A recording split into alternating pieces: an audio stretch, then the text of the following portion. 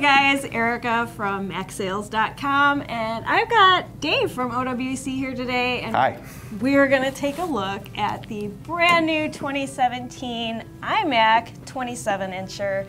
And judging from this tape we got here, we got it really, really quickly in stock just so we could tear into it, take a look at it for you guys. So I think Dave already busted into it. I did. I'm sorry. He ruined my Christmas morning moment, so Sorry. I'm just gonna. I'm too short to open this, Oh, you, probably. you need me to open the box for you too? I can do that. Could you open I can do that. Pardon my reach. Here. Ooh. Um. So we got the the keyboard on top, right? Yep. Keyboard and mouse.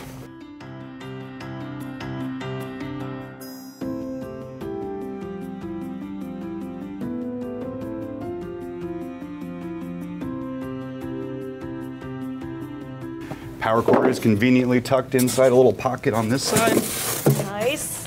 Here's the cord. Got the cord.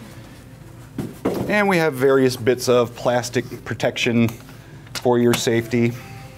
Oh, that's different. Thank you. oh, I did rip it. So we've got. Wait, let's look at the back real fast, right? Yep. What do we got? The little card slot. SD card. We've got. Are they just USB 3 then? Yep, those know. will be USB So we're 3s. at four USB 3, two Thunderbolt. Thunderbolt 3, right? And then your Ethernet. Can you can you start the peel down there? It's too long certainly. for my arm I- length.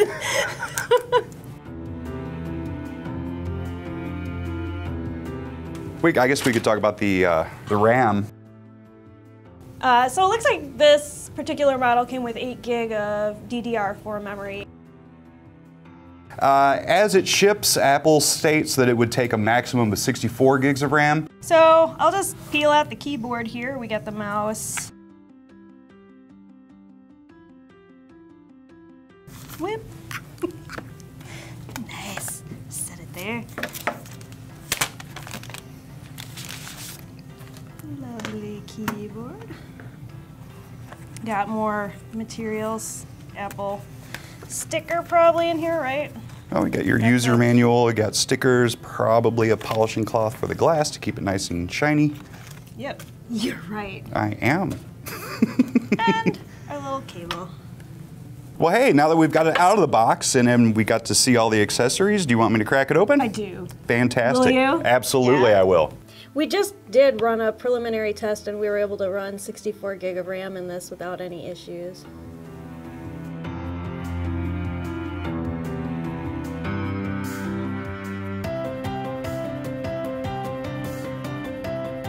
This model you can update the memory pretty easily in, right? That's correct. inch. Absolutely, absolutely. 27 inch has the- the hatch on back, which you just witnessed, and uh, it's very, very simple to do yourself. So the first thing we need to do then is open up the glass, right? That is correct. Uh, there's no way to get into the internals without pulling off the glass.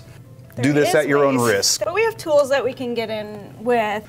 We just need to be careful of cracking the screen. too, as Also, well. yes, exactly. The, the important thing to note is you don't want to pry on it. Th- That's that's not the action you want. You really just want to be going back and forth and cutting through the adhesive that Apple has used to adhere the glass. No prying action, just Okay. back and forth cutting.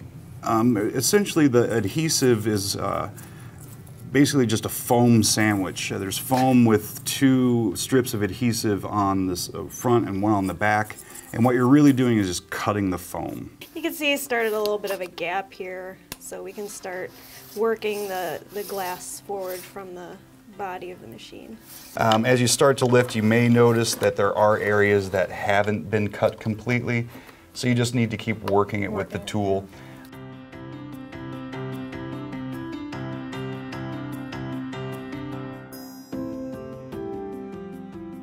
Actually, here's a trick. If your iMac has these pull tabs, you'll see them sticking out kind of like on either side here. I just remembered that those things exist. Oh, nice. Basically, it releases adhesive quite nicely. And Earlier models didn't have those, so the cutting wheel was the tool to use.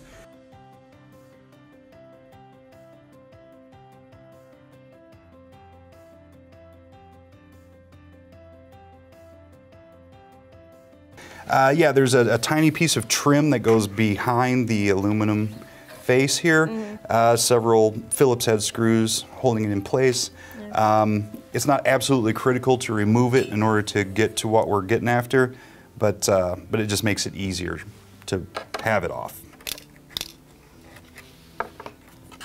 Um, I'm probably not following standard protocol here as far as the order of disassembly. Yeah. I'm just yanking this guy apart. We'll see what we got inside. What there is, yeah. yeah. Is that a speaker? That is a speaker. That's when it helps to have that little trim piece removed. Okay, well here we've exposed the Wi-Fi card mm. and all the various wires going to antenna all over. Uh, and basically these things here are the antenna. So as you notice, it's you know about a quarter inch in, and you're hitting the antenna. So yeah. you want to be cog cognizant of that as you're opening. And we got speaker number oh, two here.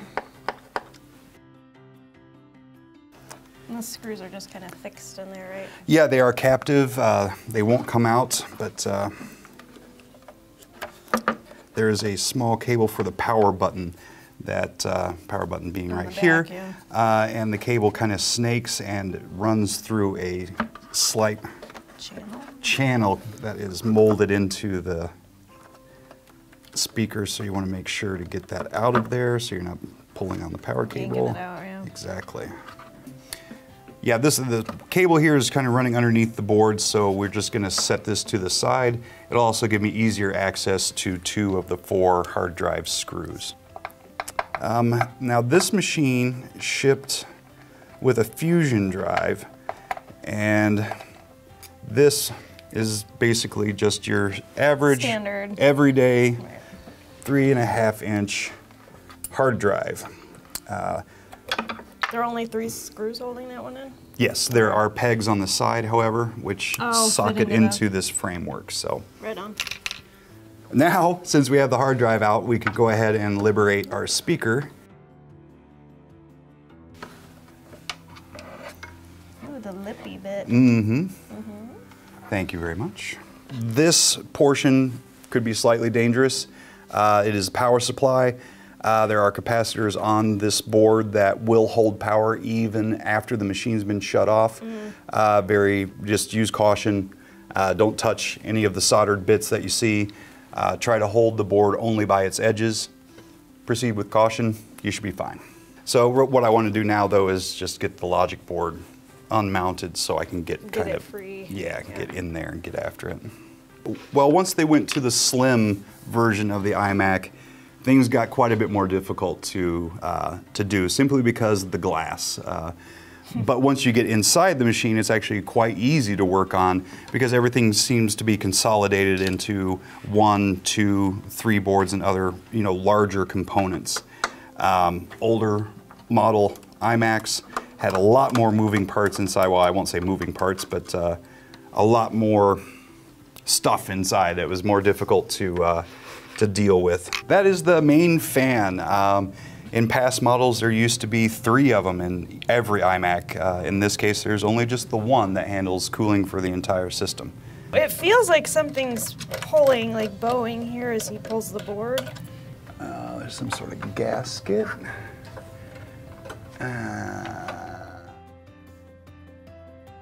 um, there were some screws uh, in there that were giving me some difficulty.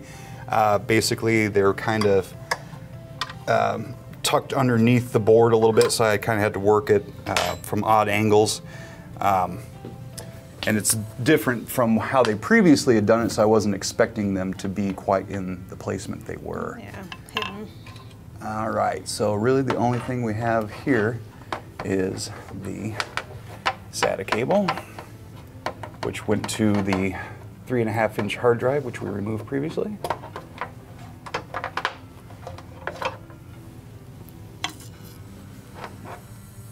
and the newly liberated motherboard or logic board. Um, let's see, go ahead and just stand that back up and I'll set this guy down here. Uh, basically here we have the heat sink which is uh, directly above the uh, processor. Uh, it looks like the processor is not able to be removed or swapped on this unit. Uh, in previous years, going back a ways in time, uh, they used to be able to be swapped out. It looks like this one is actually on Secured the yeah secured to the logic board. Uh, here is the other half of our fusion drive. This is the SSD portion. Just the one screw. Yes. hmm The socket itself is fairly large, so it uh, helps keep it secure. And it looks to be a Samsung. And this particular one, uh, here is our Wi-Fi card again from the front side, which is the view we were looking at while it was in the machine. Now here it is out. And in this particular unit, the graphics chip is basically hidden underneath this uh, heat spreader here. And there we have it. That is the logic Guts. board, the guts, the brains of the operation. So here we go. Here's the here's the 27-inch 2017 iMac, fully torn down. Um, there were some slight variances uh, from previous year models, but Apple is prone to do that. They Yeah. like doing it. So that's pretty much it. Would you say that was easy or? Um, it, it's very similar to previous model years. Uh, Apple tweaked various small things here or there, but that's pretty pretty common for them to For do. them, yeah. Yeah, Right. absolutely. Right. All right, guys. Uh, we'll be back with the next iMac teardown shortly. Um, stay tuned to MacSales.com for more.